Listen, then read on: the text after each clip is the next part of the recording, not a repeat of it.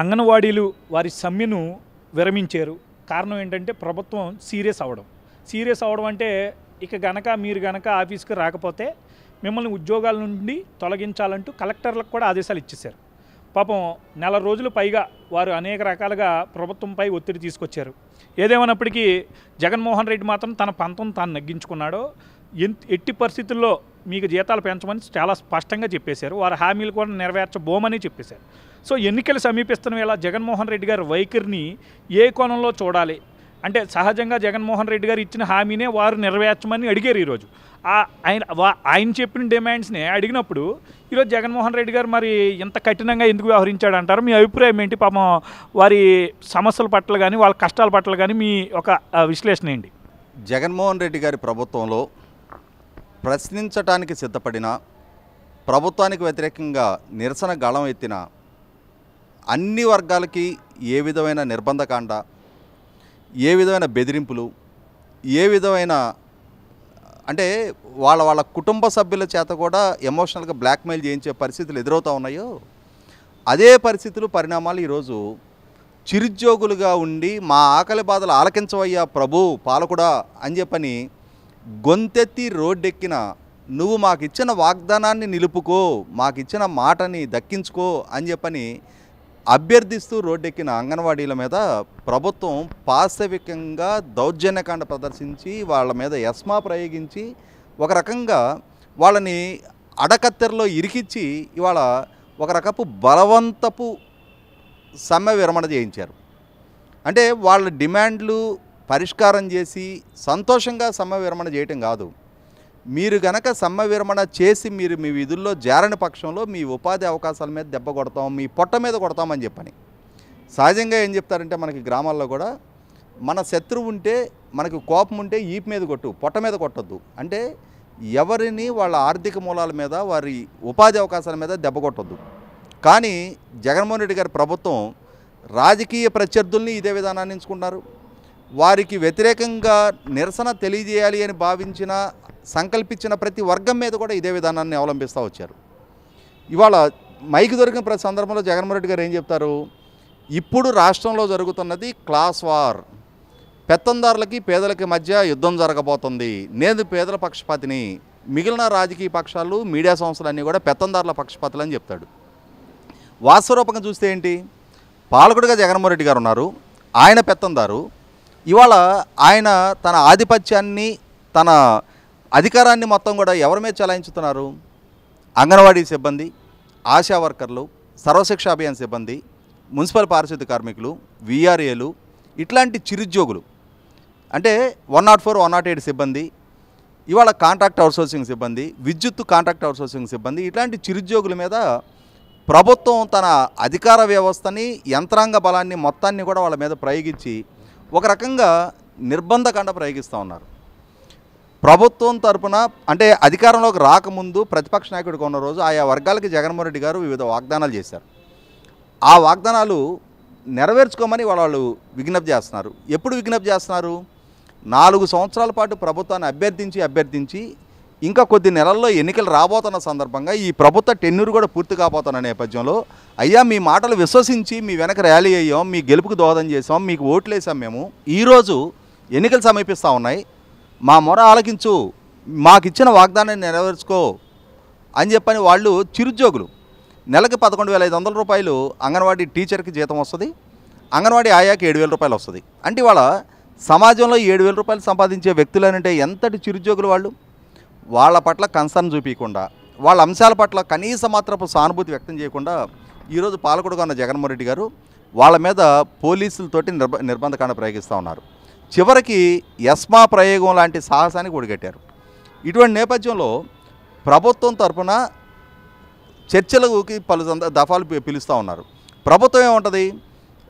ఒక టెన్యూర్లో అంటే ఒక ఐదు సంవత్సరాల టెన్యూర్లో జీతాల పెంపు సాధ్యం కాదు. రెండు అంటే ఒకసారి కన్నా ఎక్కువ జీతాల పెంపు సాధ్యం కాదు అని చెప్పని ప్రభుత్వం తరపున ప్రాతినిధ్యం వహిస్తున్న మంత్రి బొత్స సత్యనారాయణ గారు చెప్తున్నారు. అంటే ఇక్కడ మనం గమనించుకోవాల్సింది ప్రభుత్వం తరపున ప్రాతినిధ్యం వహిస్తున్న బొత్స సత్యనారాయణ గారు అంగన్వాడీ సిబ్బంది జీతాల పెంపుకు మాత్రం ఐదు సంవత్సరాల టెన్యూర్లో ఒకసారి కన్నా ఎక్కువ ఆస్కారం లేదంటున్నారు. కానీ ప్రభుత్వం తరపున ప్రజల మీద పన్నులు మోపడానికి మాత్రం ఎక్కువ సార్లు పెంప పెంచవచ్చా ఇదే బొత్స సత్యనారాయణ గారు మున్సిపల్ శాఖ మంత్రిగా ఉండి ఇంటి పన్ను ప్రతి సంవత్సరం పదిహేను శాతం పెరుగుద్ది అని చెప్పని విధానాన్ని తీసుకొచ్చారు. మరి అది కూడా ఐదు సంవత్సరాలకు ఒకసారి పెంచాలిగా? ఆర్టీసీ ఛార్జీలు మూడు సార్లు పెంచారు. కరెంటు ఛార్జీలు ఎనిమిది సార్లు పెంచారు. మరి అది ఐదు సంవత్సరాల పాటు దాని మీద ఎందుకని సీలింగ్ పెట్టలా? ఈసారి పెంచాము మళ్ళీ ఐదు సంవత్సరాల దాకా పెంచొద్దు పెంచాల్సిన అవసరం లేదని చెప్పిన విధానం అందులో ఎందుకు తీసుకోలే? అంటే ప్రజల మీద భారం మోపడానికి మాత్రం ఐదు సంవత్సరాలు ఎన్నిసార్లు అయినా సరే వాళ్ళ మీద పనులు భారం మోపచ్చు. కానీ ప్రజలకి ప్రభుత్వం తరపున మేలు చేయాల్సిన సందర్భం వచ్చేప్పటికి మాత్రం ఐదు సంవత్సరాల్లో ఒకసారి మాత్రమే జీతం పెంచడానికి ఆస్కారం ఉంటుంది. రేపు ఎన్నికలు పూర్తయి కొత్త ప్రభుత్వం వచ్చిన తర్వాత జులైలో అమలు పరుస్తామని చెప్తున్నారు. రేపు జులై నాటికి వీళ్ళు అధికారంలోకి వస్తారని గ్యారంటీ ఉందా? ఇప్పటికే ప్రజల్లో వీళ్ళ పట్ల పెరుగుతున్న వ్యతిరేకత దృష్ట్యా ఈ టెన్నూరులో అమలు చేస్తామని చెప్పని చెప్పిన వాగ్దానం అది. తెలంగాణ ప్రభుత్వం ఇస్తున్న జీతం కన్నా వెయ్యి రూపాయలు అధికంగా వాళ్ళకి జీతం ఇస్తామని చెప్పారు. వాళ్ళు ఏం గొంతెమ్మ కోరకలు కోరట్లేదే? తెలంగాణ ప్రభుత్వం పదమూడు వేల ఐదు వందలు ఇస్తుంది. అంటే వాళ్ళకి ప్రస్తుతం డ్రా చేస్తున్న పదకొండు వేల ఐదు వందల కన్నా రెండు వేలు అధికంగా తెలంగాణ ప్రభుత్వం ఇస్తుంది. దానికన్నా వెయ్యి రూపాయలు అదనంగా అంటే పద్నాలుగు వేల ఐదు వందలు ఇవ్వాలి. అంటే మూడు వేల రూపాయలు. ఇవాళ ప్రభుత్వ పరంగా ఎన్ని వేల కోట్ల రూపాయలు దుర్వినియోగం చేస్తూ ఉన్నారు? ప్రభుత్వ భవనాలకి అధికార పార్టీ రంగులు వేయడానికి మూడు వేల కోట్ల రూపాయలు ఖర్చు పెట్టారే. ఇప్పుడు ఆ బడ్జెట్తో కంపేర్ చేస్తే ఇవాళ ఈ అంగన్వాడీ సిబ్బందికి ఇచ్చే జీతభత్యాలు ఎంత ఖర్చు అవుతాయి? మూడు వేల రూపాయలు ఒక్కొక్కరికి ఇచ్చేది లక్ష ఐదు వేల మంది సిబ్బంది ఉన్నారు. ఇవాళ ప్రభుత్వం తరపున నియామకం చేపట్టబడిన అధికార పార్టీ కార్యకర్తలైన వాలంటీర్లకి సంవత్సరానికి పదహారు వందల కోట్ల రూపాయలు వాళ్ళ జీతభత్యాల కింద చెల్లిస్తూ ఉన్నారు. అంటే ఈ ఐదు సంవత్సరాల కాలంలో ఎనిమిది వేల కోట్ల రూపాయలు ఆ రూపంగా ఖర్చు పెడతా ఉన్నారు. మరి ఆ బ- బడ్జెట్తో పోల్చి చూసుకున్నప్పుడు వాళ్ళకి ఇచ్చే జీతభత్యాలు ఎంత? కాబట్టి ఏంటంటే ఇది ప్రభుత్వం ఒక రకంగా నిన్న వాళ్ళ మీద ఉక్కుపాదం మోపింది. పోలీసులతోటి నిర్బంధకాండ ప్రయోగించింది. ఆ నిర్బంధకాండ కూడా ఎంతటి స్థాయికి చేరింది అని అంటే మగ పోలీసులు సహజంగా మహిళా సిబ్బందిని వీళ్ళని హ్యాండిల్ చేయడానికి మహిళా పోలీసులు మాత్రమే డ్యూటీ చేయాలి. కానీ మగ పోలీసులు అక్కడ అంగన్వాడీ టీచర్లు ఆయాలని వాళ్ళ చీరలు ఊడిపోతున్నా సరే మీడియా ముందు అసభ్యకరంగా వాళ్ళని వెయ్యకూడని చోట్ల చేతులేస్తా అత్యంత జుగుసాకరంగా వాళ్ళని హ్యాండిల్ చేయడం జరిగింది. ఇక్కడ మహిళా కమిషన్ చైర్మన్గా ఉన్న వాసిరెడ్డి పద్మ గారు ఈ అంశం పట్ల ఎందుకు స్పందించరు? లక్ష ఐదు వేల మంది ఈ మహిళలు మహిళలు కదా? వీరి పట్ల ప్రభుత్వం ఇంత పాశవికంగా అమానవీయంగా వ్యవహరిస్తుంటే వాళ్ళ హక్కులకు భంగం కలిగిస్తూ ఉంటే వాళ్ళ గౌరవానికి భంగం కలిగిస్తూ ఉంటుంటే స్పందించాల్సిన వ్యవస్థలు ఈ విషయంలో ఎందుకు స్పందించట్లేదు? ఇవాళ మహిళా కమిషన్ అనేది కేవలం ప్రభుత్వానికి వ్యతిరేకంగా గొంతెత్తిన ప్రతిపక్ష నాయకులకి నోటీసులు ఇవ్వడానికి పనికొస్తుందా? ఇవాళ ప్రభుత్వానికి వ్యతిరేకంగా గొంతెత్తిన మహిళల గౌరవం గౌరవం కదా? ఇవాళ సామాన్యుల పక్షాన కాదని నిలబడాల్సింది మహిళా కమిషను?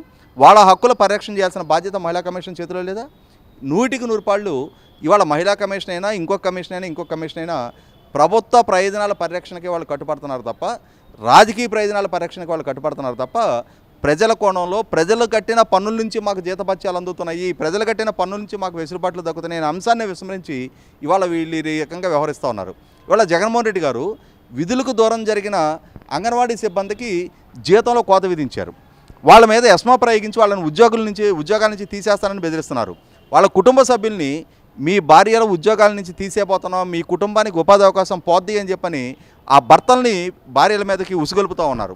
మరి ఇటువంటి సందర్భంలో అదే జగన్మోహన్ రెడ్డి గారు చెప్పాల్సింది ఏంటి అంటే రెండు వేల పద్నాలుగు నుంచి పంతొమ్మిది మధ్య ప్రజల చేత ఎన్నిక కాబడిన శాసనసభ్యులు వాళ్ళు ఆ ఎన్నిక కాబడ్డ శాసనసభ్యులు అయ్యుండి ఆ రోజు స్పీకర్ గారి మీద అలిగి ఒక సాకుగా చూపించి సంవత్సరాల తరబడి వాళ్ళు అసెంబ్లీకి హాజరు కాలా.